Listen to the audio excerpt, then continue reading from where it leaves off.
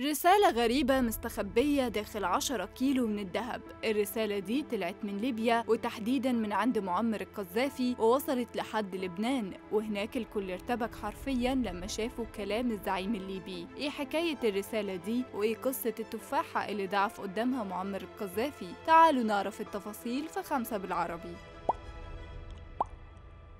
حادث دبلوماسي أدى لقطع العلاقات بين ليبيا ولبنان والسبب كان رسالة من العقيد معمر القذافي إلى وزير الخارجية اللبناني فارس بويز. وزير الخارجية بيحكي خلال حوار دي في جريدة الشرق الأوسط عن الرسالة دي وبيقول إنه في يوم جاله سفير الليبي على أساس إنه معاه رسالة من العقيد معمر القذافي. كانت الرسالة عبارة عن كتاب كرتون لونه أخضر ومطعم بالذهب أو بالحبر الذهبي ووزنه حوالي 10 كيلو جرام ويمكن كمان يكون 12 كيلو. وبيكمل وزير الخارجية وبيقول إنه استلم الكتاب من السفير الليبي وكأنه معاهدة دولية مصيرية. ففتح وقرأ سطر منه كان بيتكلم فيه عن مؤامرة ولاد العم والنصارى على الأمة العربية. وزير الخارجية قرأ الكلمات دي وبسرعة قفل الكتاب ورماه في أحضان السفير وقال له بالنص قول للعقيد القذافي إن الكتاب ده غير مقبول على الإطلاق. وقول له كمان إننا من العرب الأصليين. ونصارى لبنان أعادوا النهضة العربية بعد 450 سنة من التتريك ومن اختفاء اللغة. وكمل بويس كلامه للسفير الليبي وقال له إن نصارى لبنان حفظوا اللغة العربية في أديرتهم من خلال مطابعها ورهبانها. وطلب كمان إنه يوصل للعقيد القذافي إنهم هم اللي خلقوا الفكر السياسي العربي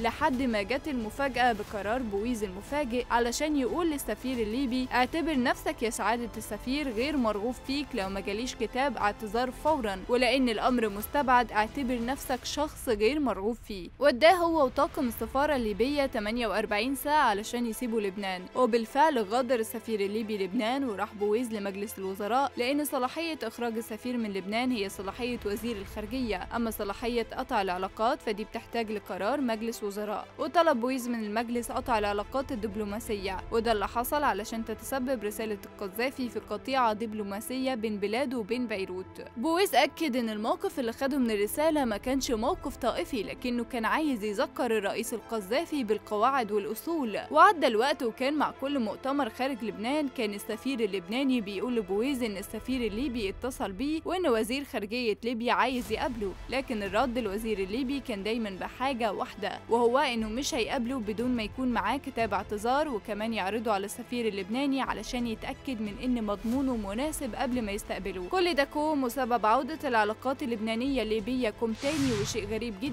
لبنان كانت بتصدر التفاح لليبيا وبويز من منطقة معتمدة على زراعة التفاح واللي خلت بويز يزداد ضغوطات تجارية كتير لكنه كان دايما بيرد ويقول إن كرامتنا الوطنية أهم من التفاح. مرت سنتين على الواقع وفي يوم من الأيام كان بويز في القاهرة لما جاله السفير اللبناني وقال له إن وزير الخارجية الليبي اتصل بيه وأبلغه بمضمون رسالة اعتذار كانت مقبولة للجانب اللبناني. ورجعت العلاقات من تاني بين البلدين عشان تكون دي من أغرب مواقف الأزمات الدبلوماسية.